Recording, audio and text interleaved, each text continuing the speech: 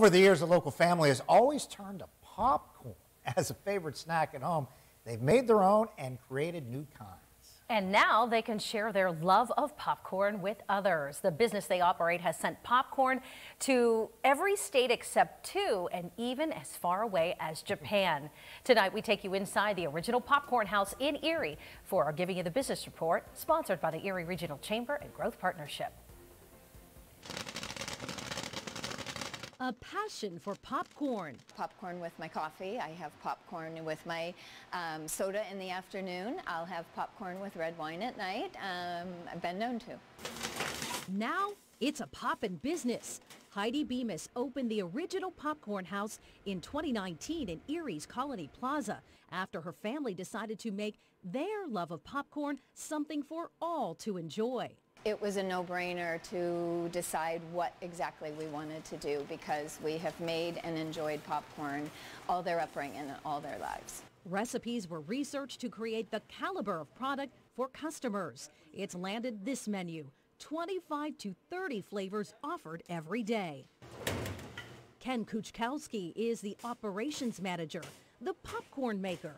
He's learned the art of making gourmet popcorn, starting with real ingredients. It's a matter of not just picking any type of ingredients, but the best ingredients out there.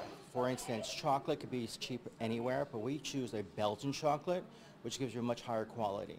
No matter your taste, they're sweet, spicy, cheesy, even cereal-based popcorn.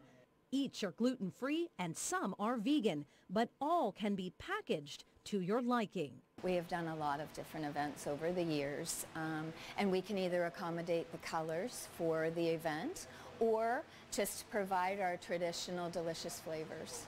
The original Popcorn House also works with other local businesses.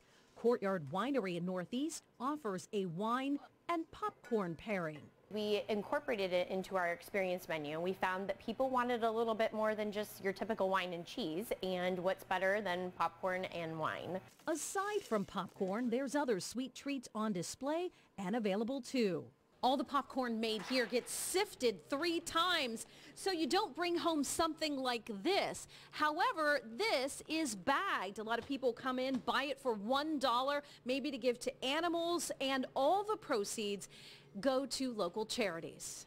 When you pop in, popcorn sundaes are also on the menu, a blend of ice cream and your favorite popcorn pick. It's a place for all ages to enjoy, and pictures of everyone who visit are proudly displayed in this locally owned franchise shop.